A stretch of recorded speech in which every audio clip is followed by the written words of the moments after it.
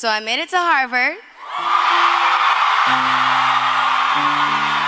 At 17, I started my career here in America, and by the age of 18, I started my first charity organization. I know that each and every one of you has the opportunity to help someone else. All you need to do is help one person, expecting nothing in return. To me, that is a humanitarian. People make it seem way too hard, man. You don't gotta be famous, you don't even have to be college educated. I mean, I, I, I wish I was, I'm not saying, you know.